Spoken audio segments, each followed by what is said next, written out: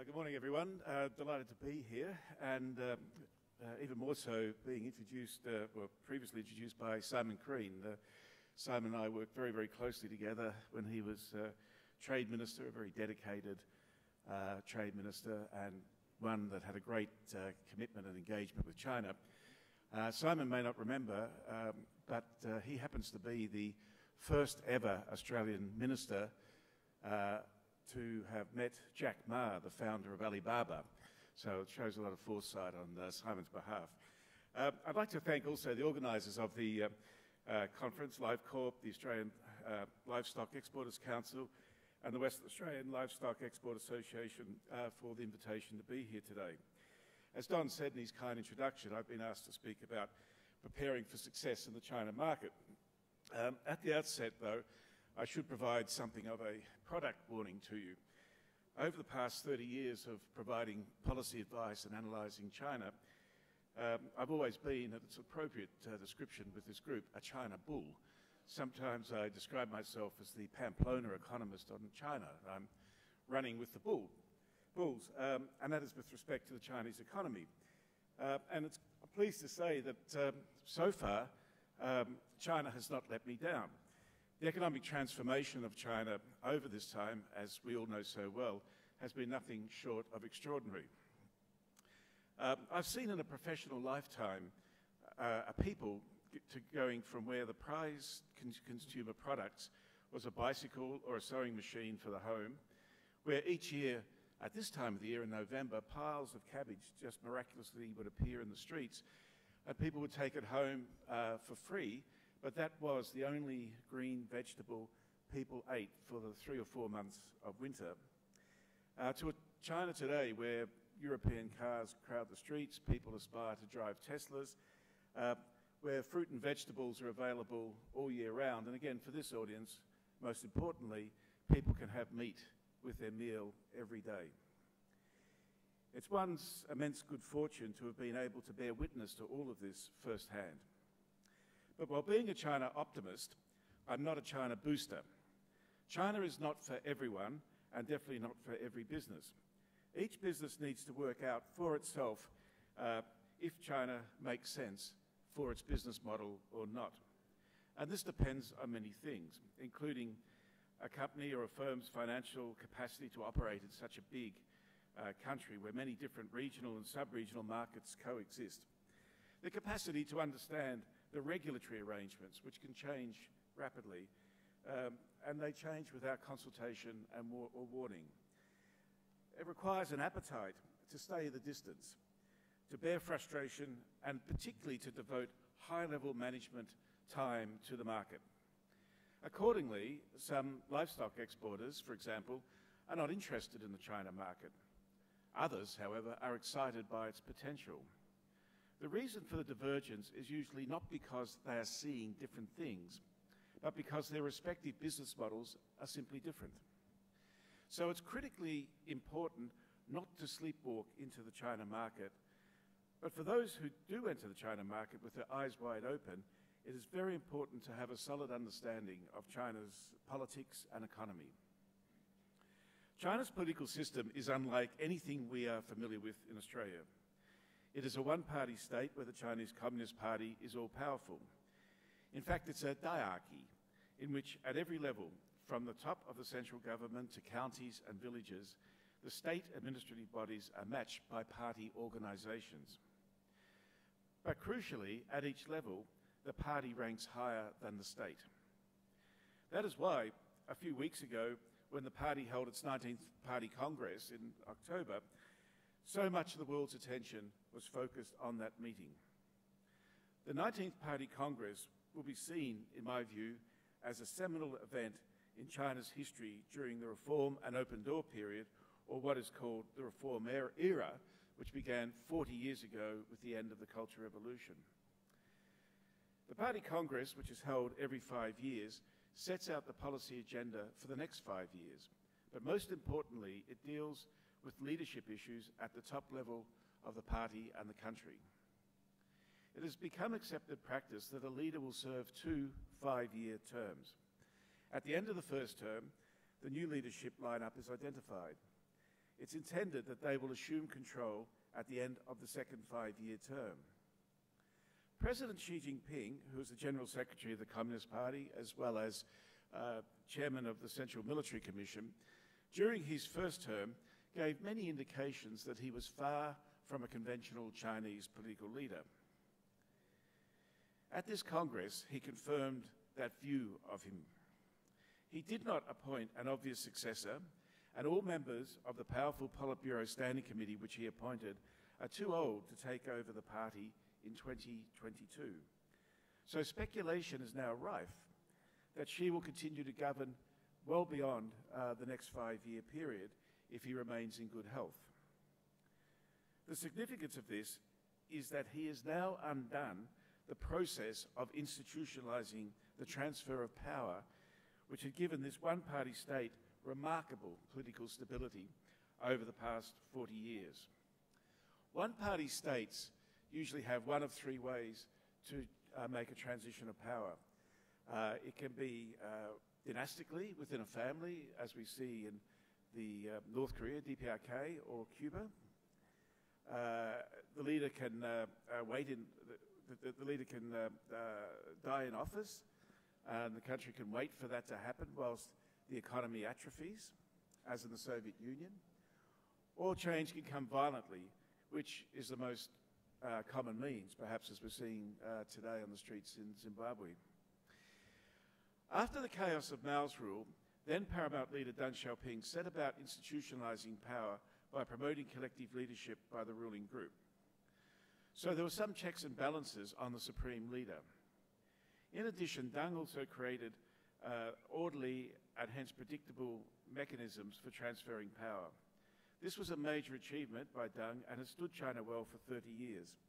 Now the party congress, now after the party congress, we do not know, frankly, how power will be transferred in future.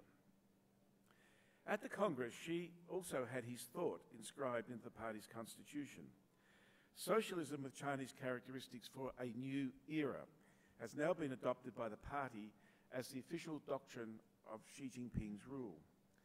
He is only the third leader since Mao Zedong to have his thought officially recognized by the party's constitution, but critically, only the second leader after Mao to have it taken up while still in office. Deng Xiaoping thought uh, was only included in the party's constitution after Deng had passed away. The implication then is clear. Xi Jinping is now officially China's most powerful leader since Mao Zedong. His power is both unchallenged and, for the time being, unchallengeable. In his work report to the Congress, Xi set out two major goals. The first is that China would become, in the party's phrase, a moderately prosperous country by 2022. And this will coincide with the party's centenary, the founding, uh, the centenary of the founding of the party. Before the Congress, Xi had already announced that China was well on its way to achieve this goal. In part, it has involved the doubling of China's 2010 GDP uh, uh, a, since 2010, um, and the expectation is this will be done by 2019. The second goal is for China over the next 30 years to become one of the leading nations in the world, not just economically, but technologically and in innovation and in culture, but also militarily. The latter is a newly publicly stated aspiration for the Chinese leadership. So the work report envisages a new multipolar global order where China is one of the centers of power. Xi's doctrine of socialism with Chinese characteristics for the new era marks a significant new direction uh, for China. Deng Xiaoping's doctrine of socialism with Chinese characteristics was concerned with building China's economic strength its focus was on growing the Chinese economy and raising people's material living standards. Xi's doctrine goes well beyond this. It essentially declares that the tasks started by Deng are now complete and China must, must now look beyond a single-minded focus on economic growth. Accordingly, while economic growth and material prosperity will continue to be important, the emphasis will now shift to lifting the quality of people's lives. This includes a heavy emphasis on improving the environment. For the first time, an entire section of the work report was devoted to the environment. In addition, more attention will be given to regulatory and health and safety standards, to reducing income inequality between rural and urban areas, and to science, technological and uh, development and innovation.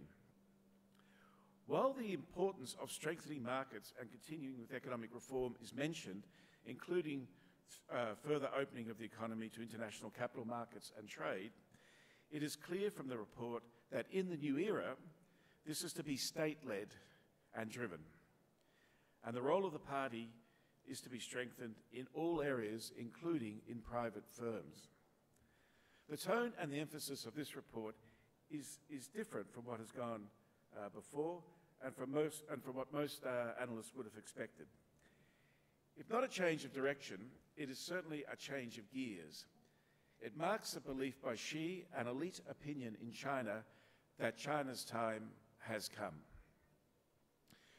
The boldness and ambition of Xi's vision is surprising, but it does reflect the remarkable economic developments of the past two decades in which the Chinese economy has moved from an export-led to an investment-led and now to a consumption-led economic growth model. China's economy is rapidly maturing and the new policy emphasis is intended to speed this along. Both this and Xi's focus on raising the quality of life bode well for Australian exporters of goods, particularly agricultural goods, and also services. China's economy is rapidly becoming both more urbanised and services-based, and these trends are mutually reinforcing. Over the 10 years to 2015, China's urban population rose from 42% to 56% of the total population, or by more than a quarter in just one decade. As is to be expected when per capita incomes rise towards middle income levels of development, together with large-scale urbanisation, the economy is becoming increasingly based on services. Services now account for 54% of GDP compared to 44% a decade ago. It's also, uh, when you're thinking about the Chinese economy, important to think about it uh, as comprising at least three major economic regions each at different levels of development and each, accordingly, affording different commercial opportunities for exporters and investors. The coastal cities and some provinces are now at or close to developed levels of per capita income. Many of these cities are hardly known uh, or visited uh, by foreigners. Places such as Dalian, Qingdao, Yantai, Ningbo, Xiamen, Nantong, and so on, most people uh, have not heard of outside of China, but these are major commercial uh, and urban centres. Collectively, the major coastal cities have a total population of over 100 million people, or close to the entire population of Japan. They are the backbone of the consumer-led economy. It is here that a sophisticated class of consumers has emerged with high disposable incomes. These are the people demanding and who are prepared to pay premium prices for high-value products uh, not least animal protein. Between 2012 and 16, across the whole country, disposable incomes rose by 44%, or to uh, over 4,000 US dollars per capita. But remember, this is spread across 1.4 billion people. In view of the substantial income inequality, uh, or inequality of income distribution in China, if you think about the top 30%, you're looking at some 400 million people who have developed country levels of disposable income and consumption patterns and tastes. The second tier of the economy comprises the provinces running from China's northeast through central uh, China to the southeast. This, this group accounts for some 700 million people, and they have developing country levels of income, but these are growing quickly and the income gap between these areas and the advanced coastal areas is closing rapidly. These areas and these, these, these people can be expected to move increasingly towards a consumption-driven economy over the next decade. The final group is mainly in China's west and accounts for some uh, 300 million who have a, uh, still a long way to go to catch up. But it's also this group that is now currently a focus of Xi Jinping's economic policies. While the growth story is nothing short of astonishing, and for the economy, China's prospects seem exceedingly bright, the government does have some major challenges to overcome. Debt is the most commonly mentioned cause for concern. The growth of the past decade has been supported by a loose monetary policy that has seen total debt more than double, over that decade to about 270% of GDP. Most of this um, uh, debt is non-government corporate debt, and most of this is attributable to the state-owned enterprises. The absolute size of the debt, however, is not out of line with other major economies such as the US and Japan. In fact, it's less than Japan as a share of GDP. Of most concern, though, is the speed uh, which, at which it's accumulated, doubling over the past decade. The government's made it clear that it's seeking to slow the rate of increase and then to begin deleveraging. The jury is still out, however, on how successful this will be, especially whether the government, government will be able to deleverage sooner rather than later so as to avoid a more abrupt adjustment that would see overall economic growth slow significantly. Many economists have uh, for years been predicting a hard landing for China as a result of the need for deleveraging. While at some stage the wolf might really be at the door, the government thus far has shown it has adequate tools and skill in managing the macroeconomy to keep it away. The risk of a credit crunch is mitigated to a large extent by the capital account continuing to be tightly managed by the government and for the exchange rate to be set by the government. A credit crisis usually manifests itself on the external account with a surge in capital outflows and a sharp currency depreciation. Moreover, China's savings rate is still high by international standards at around 44% of GDP. Finally, in China, households are generally not uh, heavily leveraged themselves, uh, and certainly nothing like in the West. This might change, though, because today's younger generation uh, has a much stronger preference for consumption over savings than their parents, and this could change as they move into adulthood. As an anecdote, um, I have some Chinese friends who have grown up in Australia in fairly conservative Chinese families. When they've gone back to visit uh, home on holidays or their parents' home, they come back shocked um, by uh, the spending and consumption uh, of their cousins.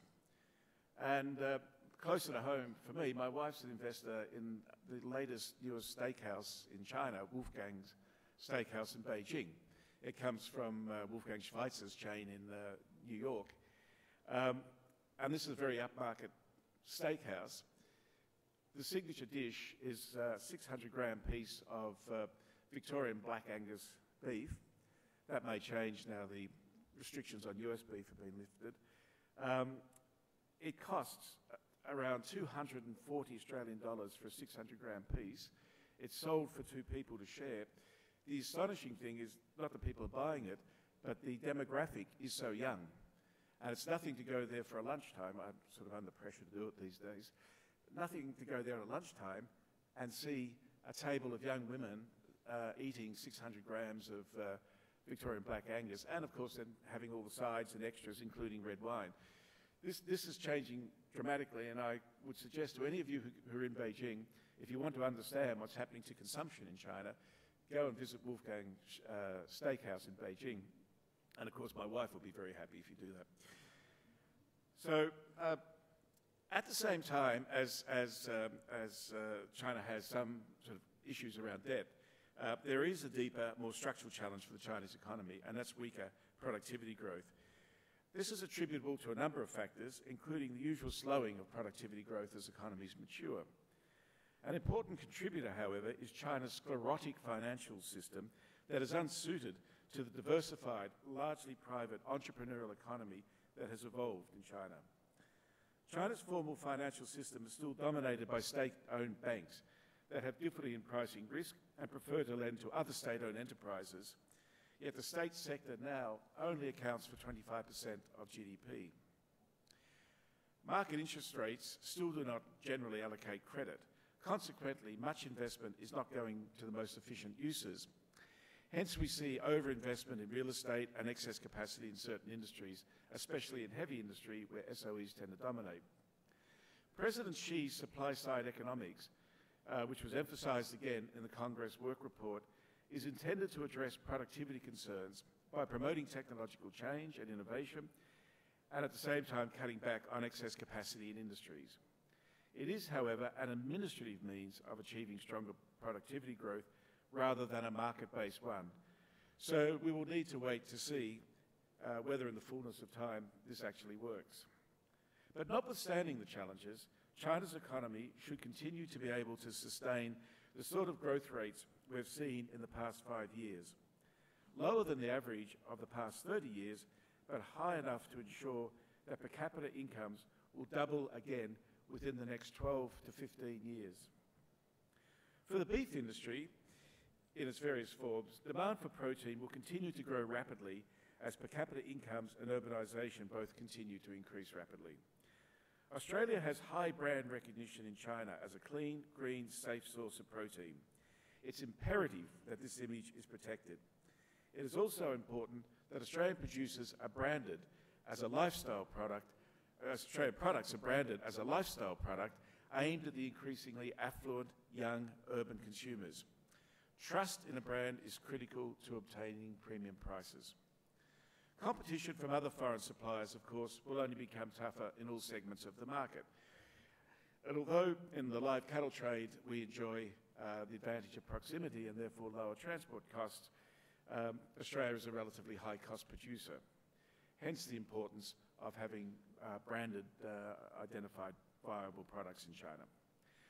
CHAFTA uh, is of considerable benefit and of course uh, it helps Australia's agricultural industries very much.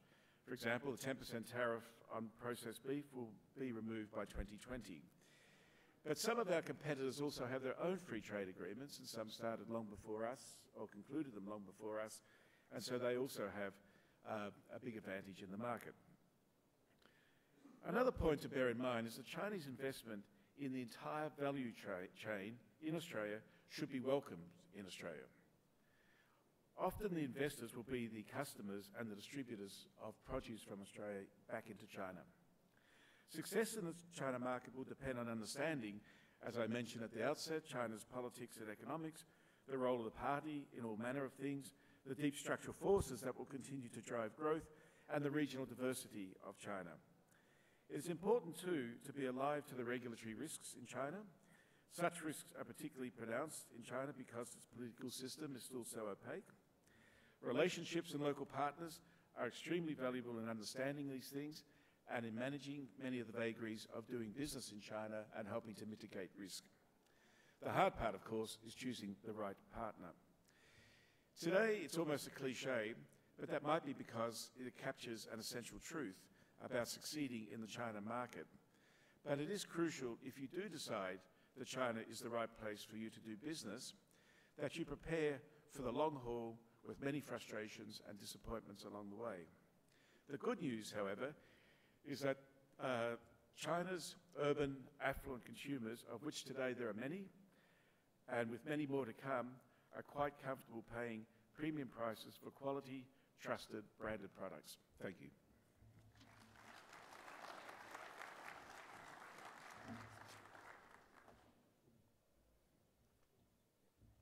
Thank you, Geoff. And um, I'd ask if uh, there are any questions. There's one over here.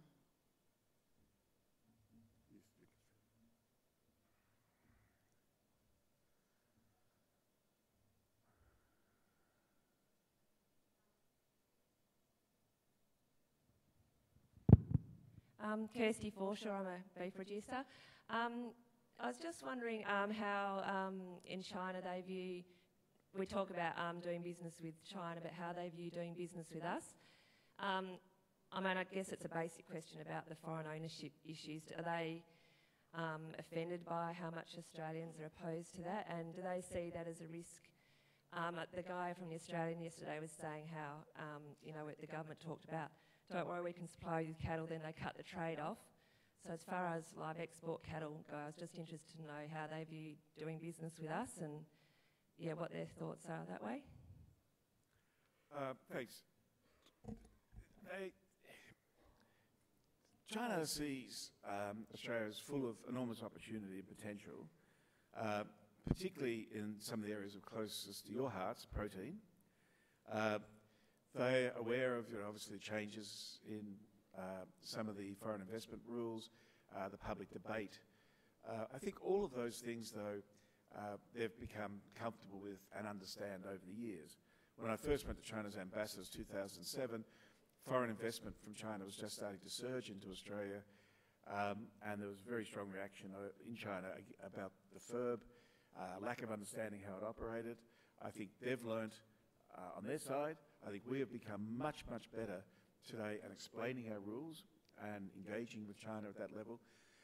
I think the bigger problem is um, that uh, we're having trouble as a country coming to grips with the reality of China's size and weight in the world and its size and weight in Australia. It was always going to happen as China became richer, bigger, stronger, more prosperous, and so on. I, I think it's unfortunate that we're having the, uh, the political debate about agents of influence and so on in such, a, uh, in such an excited, shrill manner. What that does and how that's perceived in China is that Australia is inherently unfriendly towards China. So it's a bit of an irony, having sort of fixed up, if you like, the formal relationship over the FIRB and rules and so on, we now have this hysterical debate. There are issues to be addressed, and um, you know, the Chinese side, is, in some cases, have behaved stupidly. Um, but it all needs to be kept in proportion and context. But, but the hysteria is very unhelpful because it does leave, lead to a view in China that I think is quite widely felt, um, that Australia is inherently unfriendly towards China. So that's got potentially big issues because Australia has a very big source of, um, it's a very big and important destination for Chinese students studying overseas and for tourists.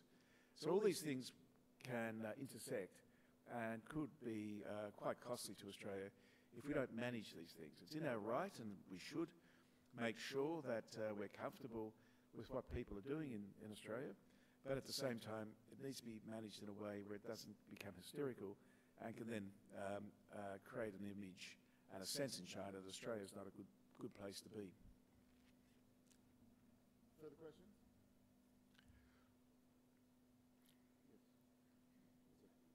Just need a mic to come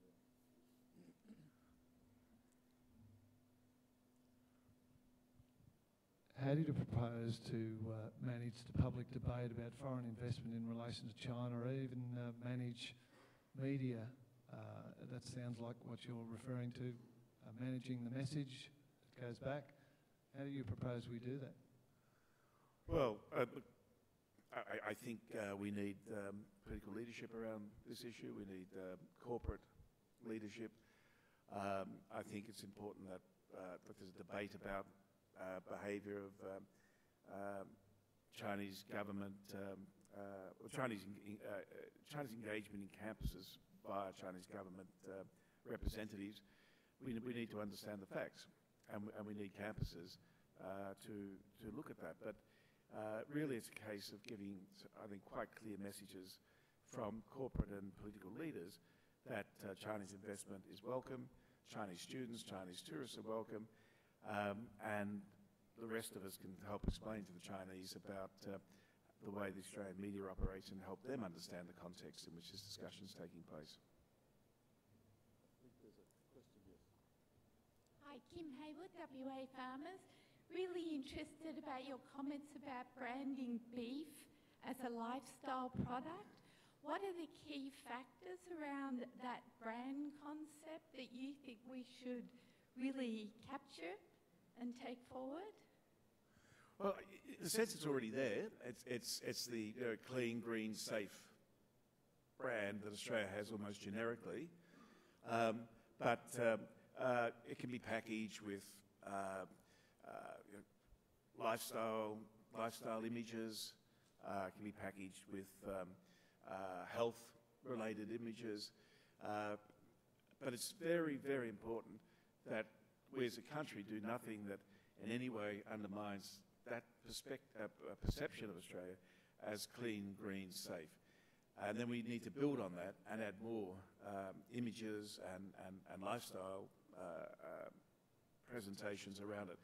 We, the, this, this, this emerging, or has emerged, big group of young demographic, um, high uh, affluent consumers um, they really want to buy experience. So whereas uh, a decade ago or more when I first went to China, you know, it was Louis Vuitton handbags and so on. Um, today, people want handbags where no one knows the name because that must make it more interesting. So things are, you know, needs to be much more experience based. That's why, look, there's, there's a potential boon for Australia linking, you know, tourism, our, our quality foods, our capacity to supply protein, um, and into a big experience. And I think that's where we need to be putting uh, our effort. I can handle one more. Thanks, Don. Can. Jeff Cameron Hall, nice to see you again. Thanks for your address. Um, two questions, if I may. One, uh, your view on the importance of getting the right partner in China to do business with and, and the best way about doing that. The second one, you spoke in your, in your address a bit around how quickly regulations can change in China. How do people building um, an agricultural supply chain in Australia manage that risk? Because that risk of change can decimate profitability very quickly. Yeah, look, on, on the first one, it's a perennial, and there is no easy answer. Uh, basically, you need to be on the ground and meet people, and um, and and uh, and also don't be don't be just focused on Shanghai or Shenzhen or something, but recognise the diversity of the place. But it's really you have to do it through per building personal relationships, and that does take time. So there's no silver bullet on getting the right partner. On, um, on the regulatory risk, on one hand, there's nothing much you can do about it, and it's a risk factor uh, that really needs to be acknowledged. But there is something to be very careful about, and that is because things are changing so much, say in the area of uh, e-commerce, uh, a lot of regulations haven't caught up with the reality of um, how business is being conducted. And you, know, you can think of it as a grey area. But anywhere that is, is lightly regulated or where there's a sense that regulation's not caught up um, uh, with the reality of how trade's conducted, you need to be very, very careful because for sure the regulations will catch up. And I think we saw that with well, the Bellamy's or Blackmores. Um, uh, it's a classic case. Uh, oh, you see a huge, huge rents because it's likely reg regulated. You rush in, do business in that space, and then wake up one morning and there's a notice in the newspaper and you're regulated and the rents are suddenly gone. So you need to be careful about that. But I think um, uh, if you're, if, if, if you're uh, operating in well-established areas um, where trade's been going on for, for some time, then um, the regulatory risk is much less. But it is something that you always need to, to factor into your, your business model.